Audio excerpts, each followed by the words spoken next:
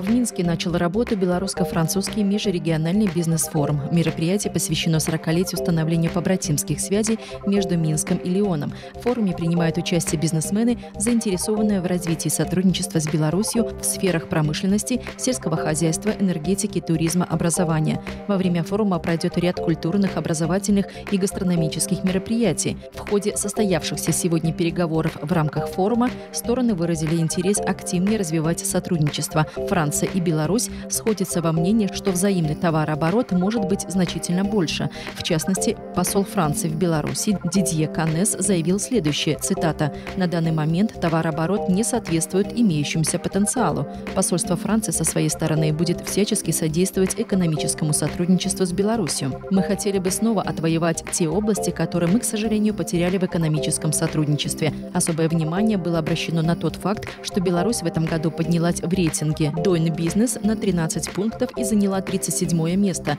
Дидье Канес посоветовал французским бизнесменам учитывать этот факт. Одним из перспективных направлений может стать сфера IT и создание инфраструктуры. Есть договоренности по сотрудничеству в деревообработке и текстильной промышленности. Соглашение о сотрудничестве подписали сегодня Белорусский государственный педагогический университет имени Максима Танка и Высшая школа преподавательского состава и образования Академии Леона.